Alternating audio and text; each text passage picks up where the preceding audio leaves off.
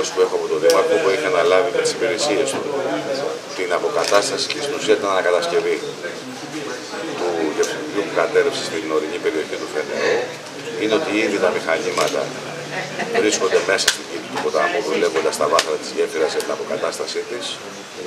Απέστειλε σχετικό αίτημα αφού ολοκληρώθηκαν οι μελέτες που έγιναν από το Δήμο προς το Υπουργείο Υποδομών, το οποίο αιτείται χρηματοδότησης ενός ποσού της τάξης των 500.000 ευρώ, το οποίο είναι αναγκαίο για να προχωρήσουν οι διαδικασίες αποκατάστασης.